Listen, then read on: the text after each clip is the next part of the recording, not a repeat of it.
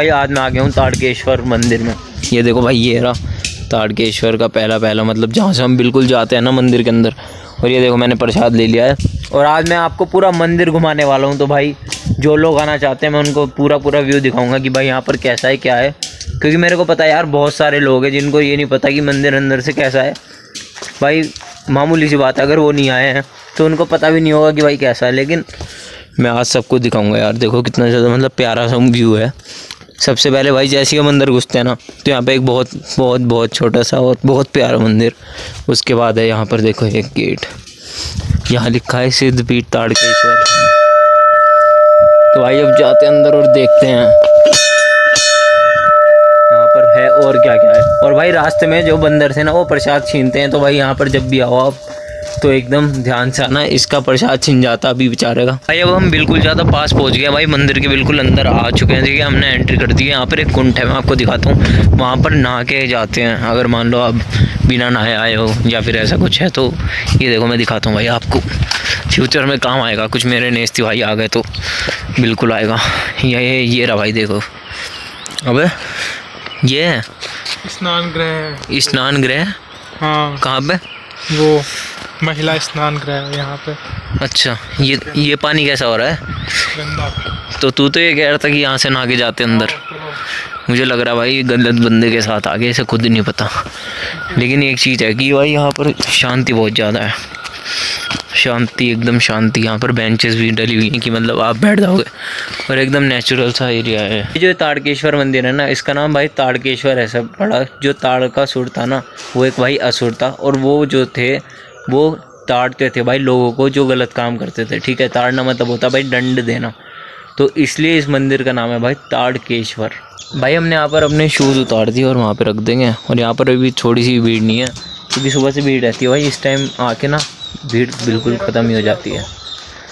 तो ये देखो, ये कितना प्यारा सा मंदिर है ताड़केश्वर मंदिर। ये यहाँ पर देखो, ये बेल्स लगी हुई हैं यहाँ पर, चारों तरफ़ चारों तरफ़ कह रहा हूँ दोनों तरफ़। जो आपको ये चुनरी दिख रही है ना भाई, मन्नत मांग के ही बांधी जाती है ठीक है?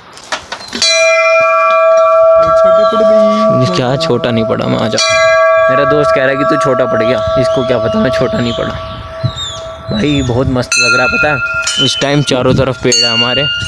और बीच में हम चल रहे हैं तो बहुत ज़्यादा अच्छा नज़र आ रहा है। और ये देखो भाई मतलब आप फील करोगे कि शायद आप ही हो यहाँ पे। भाई, ये है ताड़केश्वर मंदिर, और वहाँ देखो भाई, शिव भगवान जी की बहुत ज़्यादा प्यारी सी मूर्ति है। देखो, मैं आपको दिखाता हूँ, काफ़ी बड़ी मूर्ति है।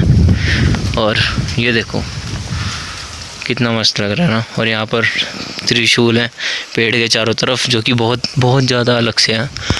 और एक खासियत बताता हूँ, ये जो पेड़ है ना भाई, इनकी जो टहनी है, ये भी त्रिशूल की ही शेप की है, ठीक है? जैसे नीचे लग रहे हैं।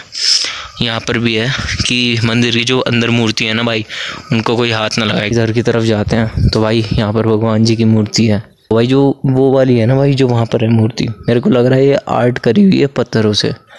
लो भाई, थोड़ा सा पास ला के दिखाता हूँ मैं आपको। हाँ वही है भाई। पत्थरों से बनाई हुई मूर्ति है मतलब थोड़ा अलग सा। यहाँ पर भी कुछ होगा यार। अभी ये हटाई हुई है। यहाँ पर पेड़ है, नीचे मंदिर है। यहाँ इस मंदिर के अंदर जाते हैं और प्रसाद चढ़ाते हैं। भाई, मैंने प्रसाद तो चढ़ा दिया और तिलक भी लग चुका है। अब देखते हैं भाई, और क्या है? कोयल की आवाज़ बहुत अच्छी अच्छी आ रही है। ये भी भाई बहुत अलग बनाती है और ये कोयल की आवाज़ हल्की हल्की हल्की हल्की आ रही है। देखो भाई, आ रही है ना? बहुत ज़्यादा अच्छी लग रही है। और जो बिल्कुल ही यूनिक चीज़ है वो मैं बताता हूँ भाई, पूरे जो मंदिर में है ना, वो डेकोरेशन हो रखी है, झालरों से भी हो रखी है और कुछ जो घंटियों पर मन्नत मांगते हैं उनसे भी। जैसे कि भाई ये चीज़ है, ठीक है? ये चीज़ है। तो भाई वहाँ पे भी मैंने आपको दिखाया था बेल्ट पर, ठीक है? उससे क्या होता है, जब हवा चलती है ना, और वो जब हिलते हैं, भाई साहब, इतना ज़्यादा प्यारा लगता है ना मंदिर।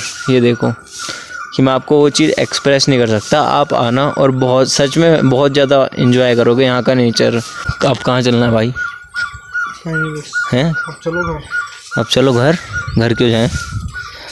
वैसे भाई हम शाम में आए थे, आप भी शाम में आना, मैं सही बता रहा हूँ। यहाँ पर भाई इस टाइम भीड़ नहीं थी बिल्कुल भी, जो होता है ना कि मतलब एकदम परफेक्ट रिव्यू दे रहा बंदा। वो चीज़ देखो यहाँ पर कितनी ज़्यादा बेल्स लगाई हुई हैं। तो मैं इन चीज़ों की बात कर रहा था कि जब मैं इन बेल्स की बात कर रहा था भाई कि जब हवा चलती है ना तो ये जब हिलते हैं भाई, क्या मज़ा आता है। और ये जो पेड़ है ना, ये भी इन पेड़ों का भी भाई बहुत तगड़ा रहस्य है, ठीक है? ये भगवान जी ने जो है पेड़ों का रूप लिया था, क्योंकि यहाँ पर जो है मतलब अभी देख रहे होंगे आप छाया, ठीक है? दस पेड़ों का रूप लिया था, जिससे यहाँ पर छाया रहे।